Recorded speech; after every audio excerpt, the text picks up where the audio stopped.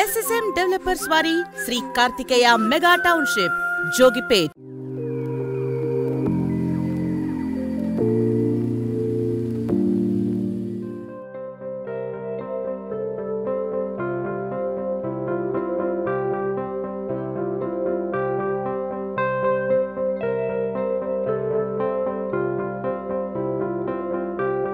ప్రస్తుతం మనం గుంటూరు జిల్లా తాడేపల్లి మండలంలోని ఉండవల్లి దగ్గర ఉన్నాము. ఇక్కడ కేవ్స్ ఉన్నాయి. అంటే గుహలు. ఇవి ఆరు ఏడు శతాబ్దానికి సంబంధించినటువంటి గుహలు. అయితే అప్పటి నుంచి పదహారో శతాబ్దం వరకు కూడా రాజులు దీన్ని పోషించారని తెలుస్తుంది. ఆ తర్వాత ఎవరు పట్టించుకున్నటువంటి పరిస్థితి? మళ్ళీ ప్రభుత్వాలు వచ్చిన తర్వాత వాటిని ఎప్పటికప్పుడు సేవ్ చేసుకుంటూ వస్తూ ఉన్నారు. ఆ గుహలు ఎలా ఉన్నాయి ఏంటి? ఒకసారి లోపలికి వెళ్ళి చూద్దాం రండి. ప్రస్తుతం మనం లోపల మొదటి అంతస్తులో ఉన్నాము. ఆ గుహలు ఎలా ఉంటాయో ప్రత్యక్షంగా చూడొచ్చు. జనరల్గా ఇవన్నీ ప్రతి చోట దొరకవు మనకు. కొన్ని ప్లేసెస్లో మాత్రమే ఉంటాయి. మనకు తెలుసు వైజాగ్ సైడ్ బొర్రా గుహలు ఉంటాయి. బొర్రా కేవ్స్ అంటాము. అలాగే ఇది ఉండవల్లి కేవ్స్ నాకు తెలిసి ఇది కూడా చాలా పెద్దది. అలాగే అజంతా ఎల్లోరా కేవ్స్ అవి చాలా పెద్దది. అహ్మదాబాద్లో ఉంటాయి. మన రాష్ట్రంలో అయితే ఈ రెండు కూడా చాలా ఫేమస్ ఇక్కడ చూడండి మనకి అందరికీ తెలిసిందే కేవ్స్ అనగానే ఫస్ట్ కనిపించేది బ్యాట్స్ అదే గబ్బిలాలు.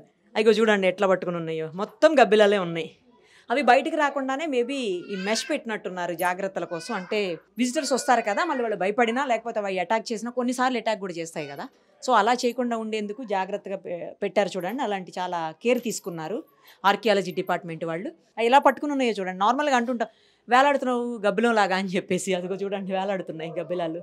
ఇది నా వెనకాల కనిపిస్తుంది చూడండి వే. ఇక్కడి నుంచి కృష్ణానది కిందిగా ఇంద్రకీలాద్రి దుర్గమ్మదేవి ఆలయం వరకు. అలాగే మరోవైపు మంగళగిరి దగ్గర ఉన్నటువంటి పానకాల స్వామి టెంపుల్ నరసింహస్వామి టెంపుల్ అంటాం కదా. సో ఆ టెంపుల్. రెండు చోట్లకి కూడా ఇక్కడ నుంచి వేవ్ ఉందని తెలుస్తుంది. దర్శనానికి రెగ్యులర్గా వెళ్తుంటారు కదా రాజులు రాణులు అలాగే వాళ్ళ పరివారాలు అందరూ కూడా. సో వాళ్ళు వెళ్ళేందుకు అందరిలో వెళ్ళలేరు కాబట్టి వాళ్ళు ఈ మార్గం ద్వారా గుహల్లో ఉన్నటువంటి మార్గం ద్వారా వెళ్ళేటోళ్ళంట. సో అలా ఉన్నటువంటి మార్గం ఇది. బట్ ఇప్పుడు ఇక్కడ నుంచి అందరూ ఆ వైపుకు వెళ్ళడానికి ప్రయత్నం చేస్తున్నారన్న ఉద్దేశంతో ఆర్కియాలజీ డిపార్ట్మెంట్ వాళ్ళు క్లోజ్ చేశారు. అవన్నీ కూడా రక్షణ చర్యలనే చెప్పాలి. మొత్తంగా ఈ గుహ అయితే ఈస్ట్ ఫేసింగ్లో ఉన్నటువంటి గుహ ఇరవై తొమ్మిది మీటర్ల పొడవు అలాగే పదహారు మీటర్ల వెడపుతో కలిగినటువంటి గుహ ప్రతి అంతస్తుకి వైవిధ్యం కలిగినటువంటి గుహ. మనం ఇక్కడ చూస్తున్నాము ఇలాంటివి మూడు ద్వారాలు ఇక్కడ మనకు కనిపిస్తున్నాయి ఫస్ట్ ఫ్లోర్లో అలాగే ఎనిమిది స్తంభాలు చూడండి రాతి స్తంభాలు ఎనిమిది స్తంభాలతోటి పెద్ద విశాలమైన హాలు కూడా ఉంది. అలాగే ఒకవైపు మనకి గణేషుడు కనిపిస్తున్నాడు చూడండి. నల్లరాతి విగ్రహం చెక్కబడి ఉన్నటువంటి విగ్రహం కనిపిస్తుంది. ఒకసారి చూడండి. తర్వాత ఇక్కడే ఫస్ట్ బ్రహ్మ తర్వాత విష్ణుమూర్తి ఆ తర్వాత మనకి మహేశ్వరుడు శివయ్య. మొత్తం ముగ్గురు కూడా ఉన్నారు. ఇవన్నీ అప్పట్లో రాజులు రాణులు విశ్రాంతి తీసుకునేందుకు ఈ రూమ్స్ వాడారు అని చెప్పి తెలుస్తుంది. చూద్దాం ఈ రూమ్స్ కీస్ కూడా అడిగాం మనం. కొంతసేపట్లోనే ఆ రూమ్స్ ఎట్లా ఉంటాయో కూడా ఒకసారి చూద్దాం లోపల ఎలా ఉంటుందో కూడా ట్రై చేద్దాం. అంతలోపు సెకండ్ ఫ్లోర్కి వెళ్దాము. అక్కడ ఏముందో కూడా చూద్దాం పదండి. సెకండ్ ఫ్లోర్కి వచ్చేసాము. ఒకసారి చూడండి. అనంత పద్మనాభ స్వామి ఆకారం ఎలా ఉందో ఒక్కసారి చూడండి. ఆయన ఎక్కడున్నా కూడా శయన రూపంలోనే ఉంటుంది. తిరువనంతపురంలో ఉన్నటువంటి అనంత పద్మనాభ స్వామి దేవాలయంలో కూడా సేమ్ ఇలాగే ఉంటుంది. నేను ప్రత్యక్షంగా చూశాను. కాకపోతే ఇంకా కొంచెం పెద్ద విగ్రహం అక్కడ. బట్ ఆల్మోస్ట్ అంతే ఉంది విగ్రహం చూడండి. నాకు తెలిసి ఏకశిల విగ్రహం అనుకుంటా. ఏకశిలతోటే చెక్కినట్టున్నారు. పైన సర్పరాజు ఆయనకు రక్షణ ఇస్తున్నట్లుగా ఆయన శయనిస్తూ ఉన్నట్లుగా ఉంటుంది విగ్రహం చూడండి. తర్వాత ఆ పైన గరుక్మంతుడు కింద స్వామీజీ. ఆ పైన చూడండి బ్రహ్మ బ్రహ్మేశ్వరుడు ఉన్నాడు. బ్రహ్మేశ్వరుడితో పాటు ఇంకా అనేక మంది. పక్కన కూడా నాకు తెలిసి వీళ్ళంతా ఆయనకు రక్షణగా ఉన్నట్లు అనమాట మనం అలా భావించాల్సి ఉంటుంది. బయట కూడా మీకు స్టార్టింగ్ స్టార్టింగే ఉంది. ఆంజనేయ స్వామి విగ్రహం చూడండి. ఇదంతా కూడా చాలా పెద్ద హాలు. పిల్లర్స్ చాలా. One two three four. Four plus four plus four. అంటే ట్వెల్వ్ పెద్ద పెద్ద రాతి స్తంభాలతోటి నిర్మించబడినటువంటి హాలు. ఒకసారి అయితే ఫస్ట్ థర్డ్ ఫ్లోర్కి వెళ్ళొద్దాము. ఇంతలోపు కీస్ వస్తాయేమో ఆ రూమ్ ఎలా ఉంటుందో చూడాలని మీతో పాటు నాకు కూడా చాలా క్యూరియస్గా ఉంది. ఆ క్యూరియాసిటీ ఆపుకోలేకపోతున్నాం. ముందు వెళ్ళి పైన చూసి వచ్చి తర్వాత ఆ రూమ్స్ ఓపెన్ చేయించి చూద్దాం. పదండి. చిన్నగా ఉంది గుహలాగా ఎంత బాగుందో. అసలు లోపల కూర్చుంటే నా వాయిస్ నాకే వినిపిస్తుంది ఓ రకంగా చెప్పాలంటే. అంటే రీసౌండ్ వస్తుంది. ఆ రీసౌండ్తో నాది నాకే లైట్గా వినిపిస్తుంది వాయిస్. ఎంత బాగుందో అసలు చల్లగా ఉంది. కూల్గా చేయి పెడితే కూడా ఎంత కూల్గా ఉందో అసలు. మామూలుగా అట్మాస్ఫియర్ బయట చాలా ఎండ ఉంది ఇప్పుడు యాక్చువల్గా. బట్ ఇక్కడ మాత్రం చాలా కూల్గా ఏసీ పెట్టినట్టే ఉంది. మేబీ ఆ రోజుల్లో ఇంత పొల్యూషన్ లేదు కదా. అలాగే పొల్యూషన్తో పాటు జనాలు కూడా ఇంతమంది లేరు కదా.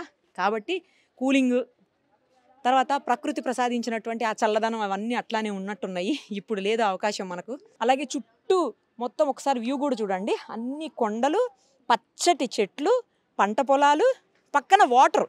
చూడండి చిన్న లేక్ లాగా చిన్న కాలవ పిల్ల కాలవ అంటారేమో అలా పోతుంది వాటరు. కొంచెం అవతలకి మనకి కృష్ణా నది కూడా కనిపిస్తుంది చూడండి. కృష్ణా రివర్. అవును కొండలపైన చెట్లు ఎలా వచ్చాయి? అంతంత చెట్లు పచ్చగా చూడండి. అక్కడ వాటర్ ఎలా వస్తుంది అసలు? రాదు కదా. అంటే వాటర్ ఉంటేనే కదా మొక్కలు కానీ చెట్లు కానీ బ్రతుకుతాయి మంచిగా ఫుడ్ తయారు చేసుకోగలుగుతాయి. నేను కింద ఒకటి రెండు చోట్ల చూసాను చాలా నీట్గా మెయింటైన్ చేస్తున్నారు ఆర్కియాలజీ డిపార్ట్మెంట్ వాళ్ళు. అలాంటి వాటిని ఎందుకంటే ఇవన్నీ కూడా రాతి కట్టడాలు ఎప్పుడు ఎప్పుడో కొన్ని వందల సంవత్సరాల నాటివి కాబట్టి జాగ్రత్తగా కాపాడుకోవాల్సినటువంటి కనీస బాధ్యత మన మీద కూడా ఉంటుంది. అందుకే ఎవరైనా విజిటర్స్ వచ్చినప్పుడు కింద కొన్ని ప్లేసెస్లో సిగరెట్ యాషెస్ కనిపిస్తున్నాయి. అలాగే పిచ్చి గీతలు రాతలు ఏవేవో రాసేశారు. అవన్నీ ఎందుకు అట్లా అవసరం లేదు కదా? జాగ్రత్తగా చూసుకోవాలి కాబట్టి మన వంతు బాధ్యతగా ఇక్కడ కూడా పిచ్చి పిచ్చి రాతలు గీతలు ఉన్నాయి చూడండి. ఇవన్నీ ఏంటి? ఎందుకు అలా? కేర్ చేయాల్సింది ఒక ఆర్కియాలజీ డిపార్ట్మెంట్ వాళ్ళు లేకపోతే ప్రభుత్వమో లేకపోతే అధికారులు మాత్రమే కాదు. సిటిజన్స్గా రెస్పాన్సిబుల్ పర్సన్స్గా మనకు కూడా ఆ రెస్పాన్సిబిలిటీ ఉంటుంది. దయచేసి ఇలాంటి వాటిని జాగ్రత్తగా కాపాడుకుందాం. మన ముందు తరాలకు ఇప్పుడు మనకి ఎలా పాత తరాల వాళ్ళు అందించారో అలాగే మనం మన ముందు తరాల వాళ్ళకు అందించాల్సినటువంటి మినిమం రెస్పాన్సిబిలిటీ మనకు ఉంటుంది కాబట్టి జాగ్రత్తగా చూసుకుందాం. నేను ఇందాక చెప్పాను కదా కీస్ తెప్పిస్తున్నాము ఒకసారి రూమ్ కూడా చూద్దామని చెప్పి ఆ కీస్ వచ్చాయి. ఒకసారి లోపల రూమ్లోకి వెళ్ళి ఏముందో చూసొద్దాం రండి. రూమ్ లాగా ఉంది.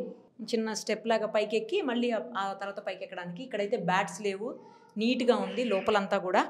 మేబీ అప్పట్లో రాజులు సేద తీరడానికి పెట్టుకున్నటువంటి రూమ్ కావచ్చు. చాలా బాగుంది. అసలు రాతి కట్టడాలన్నీ కూడా చూస్తుంటే నిజంగా ఓల్డ్ మాన్యుమెంట్స్ ఓల్డ్ మాన్యుమెంట్సేనండి ఎంతైనా కూడా. ఇప్పుడు మేబీ శిల్పకళా శాస్త్రం డెవలప్ అయి ఉండొచ్చు టెక్నీషియన్స్ డెవలప్ అయి ఉండొచ్చు ఇంజనీర్స్ పెరిగి ఉండొచ్చు అయినప్పటికీ కూడా అప్పటి కళతో పోల్చుకుంటే అప్పటి స్టాండర్డ్స్తో పోల్చుకుంటే అప్పటి క్వాలిటీతో పోల్చుకుంటే ఇప్పుడు మాత్రం ఎట్టి పరిస్థితుల్లో దానికి కనీసం వన్ పర్సెంట్ కూడా మనం రీచ్ కాలేమని చెప్పొచ్చు. ఇట్లాంటివి చూస్తున్నప్పుడు మనకు అనిపిస్తుంటుంది. ఇంకో రూమ్లో కూడా చూడొచ్చు మనం.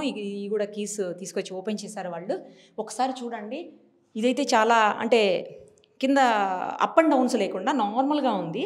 కానీ ఇక్కడ ఏదో ఒక చిన్న నిర్మాణం అయితే ఉంది మరి. ఒక పెద్ద గుంత ఉంది చాలా లోతుగా. తర్వాత సైడ్ ఒక చిన్న గుంత ఉంది మరి. దేనికి సంబంధించింది అయి ఉంటుందో? అంత ఇన్ఫర్మేషన్ ఇచ్చేవాళ్ళు మన దగ్గర ఇప్పుడు లేరు ప్రస్తుతానికి. తర్వాత ఇక్కడ కూడా చూడండి. ఒక పెద్ద అంటే ఏమంటారు విండో టైప్లో కనిపిస్తుంది ఇక్కడ. ఈ రూమ్ చాలా సిస్టమేటిక్గా ఉన్నట్టుగా అనిపిస్తుంది. ఇందాకలాగా అప్ అండ్ డౌన్స్ లేదు. చాలా సిస్టమేటిక్గా ఉంది. పైన కూడా హైట్ ఎక్కువ ఉంది చూడండి. ఫస్ట్ మనం చూసిన రూమ్లో హైట్ చాలా తక్కువ ఉంది. ఎక్కువ సేపు అంటే ఎక్కువ వెయిట్ హైట్ ఉన్న వాళ్ళకి కష్టం అక్కడ. బట్ ఇక్కడ ఎంత హైట్ ఉన్న వాళ్ళు కూడా వెళ్ళిపోవచ్చు. చూడండి చాలా హైట్లో కనిపిస్తుంది మనకి. ఇది ఇంకో రూము ఇక్కడ కూడా చూడండి నేను ఇందాక చెప్పినట్లే మనం సెకండ్ రూమ్ చూసాం కదా అదేలాగా చాలా హైట్ ఉంది పైన రూఫ్ కూడా. తర్వాత ఇక్కడ కూడా ఏదో చిన్న హోల్ లాగా పెద్ద రాతి కట్టడం లాగా ఉంది. ఆ పక్కన వాటర్ పెట్టుకోవడానికి ఏమో మరి వాటర్ స్టోర్ చేసుకోవడానికి కావచ్చు. చిన్న దాన్ని ఏమన్నా తొట్టెలాగా ఉంది. ఇది ఇంకొక రూము ఇది కూడా ఓపెన్ చేశారు. ఇది చూడండి అసలు చాలా వే కూడా లోపలికి ఎంట్రీ కూడా చాలా చిన్నగా ఉంది. అసలు రూమ్ రూమ్కి సంబంధం లేదు. ప్రతిదానికి వేరే వేరేలాగా ఉన్నాయి. అన్నీ వ్యారీ అవుతూ ఉన్నాయి. ఒకదానికి ఒకటానికి అసలు కంపారిజన్ కానీ లేకపోతే దగ్గరగా ఉండటం అనేది పోలిక అనేది లేదు అసలు. దీనికైతే చూడండి ఈ రూమ్లో. ఏదో ఒక చిన్న హైట్లో ఇంత హైట్లో కట్టారు. మేబీ బెడ్డింగా లేకపోతే కూర్చుని రెస్ట్ తీసుకోవడానికా? లేకపోతే ఏదైనా తినడానికా? కరెక్ట్గా దేనికి ఏది ఎందుకు వాడారు అనేది అయితే మాత్రం మన దగ్గర ఇన్ఫర్మేషన్ లేదు. ఎందుకంటే ఎవరూ చెప్పలేనటువంటి పరిస్థితి. ఆర్కియాలజీ ఆఫీసర్స్ ఎవరు ఉంటే కనుక వాళ్ళు ఏమైనా చెప్పగలుగుతారేమో. ఇక్కడైతే ఎలాంటి లిపి అదంతా ఏం లేదు. కానీ కింద ఉన్నటువంటి లిపిని బట్టి మాత్రం అది అంటే ఈ రూమ్కి సంబంధించిన లిపి లేదు. కానీ మొత్తం గుహకు సంబంధించినటువంటి లిపి అయితే దానికి సంబంధించినటువంటి ఇన్ఫర్మేషన్ అయితే ఉంది. బయట నేను అది కూడా చూపిస్తాను మీకు. అయితే అందులో మాత్రం ఇది చాళుక్యుల కాలానికి సంబంధించినటువంటి ఒక గుహగా ఒక కేవ్గా చెప్పొచ్చు. ఆరు ఏడు శతాబ్దాల్లో విశ్వకర్మ స్థపతిల చేత చెక్కబడినటువంటి ఏకశిలని గుహగా మార్చినటువంటి ఒక మాన్యుమెంట్ ఇది. యాక్చువల్గా ఇది బౌద్ధ రాజులకు లేకపోతే బౌద్ధ సాంప్రదాయాలకు సంబంధించినటువంటి వ్యవహారంగా అప్పట్లో చాళుక్యుల కాలంలో నిర్మించినటువంటిది.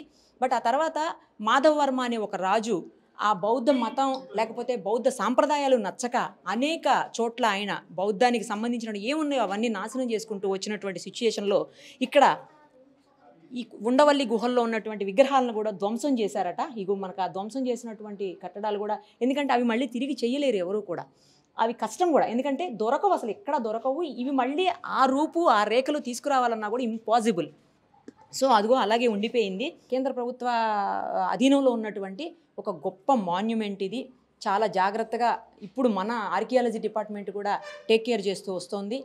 నేను ఇందాకే చెప్పాను రాబోయే తరాలకి ఒక మంచి ఇంతకు ముందున్నటువంటి పురాతన కట్టడాలను దానికి సంబంధించినటువంటి విశేషాలను మనం అందించాలంటే అందరి బాధ్యతగా తీసుకోవాల్సినటువంటి అవకా- అవకాశం అవసరం కూడా ఉంది. సో ఈ ప్రాముఖ్యతని మర్చిపోకుండా ఇలాంటి మంచి కట్టడాలను మనం అందరం కాపాడుకుందాం.